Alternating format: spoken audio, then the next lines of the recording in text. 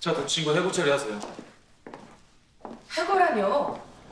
아까 들으셨지 않습니까? 그쪽에서 먼저 폭행을 가한 거라고. 이번 일은 그냥 징계 정도로 넘어가시는 게 고객의 집 앞이었고 회사 유니폼을 입고 싸웠습니다. 이보다 더 명확한 해고 사유가 있습니까? 혹시 동영군 때문입니까? 아까 들은 얘기 때문에 이러시는 거라면 전과자란 얘기. 제가 그런 얘기를 신경 썼더라면 회사에 그 친구를 들이지도 않았을 겁니다. 알고 계셨어요? 제가 그런 것도 모르고 회사에 그 친구를 들였을 거라고 생각하신 겁니까? 아, 그럼 왜 동영군하고 재민군은 창업 때부터 함께해온 직원들입니다. 그런 직원들을 이렇게 쉽게 자른다는 건 그래서요? 뭐 정예라도 기대가지고 봐주기라도 해라 뭐 그런 말씀이신 겁니까? 검이사님 회사 운영 그렇게 하는 거 아닙니다. 이럴 때 보면 참 똑같네요. 할아버님이신 차 회장님이랑. 청소의 요정.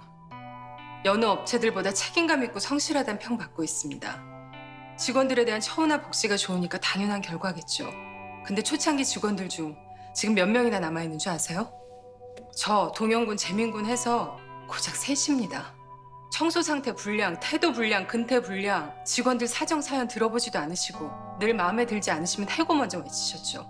대표님 댁 도우미 분들도 마찬가지 이유로 벌써 몇 번째 바뀌었는지 셀 수도 없습니다. 회사 내규에 따라서 일을 처리하자는 게 뭐 잘못된 겁니까? 잘못 아닙니다.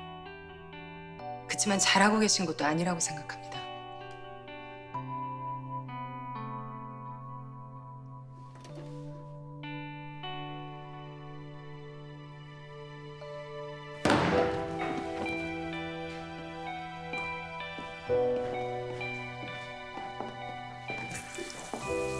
사람은 누구나 실수를 합니다. 완벽할 순 없습니다. 청결도 마찬가지고요.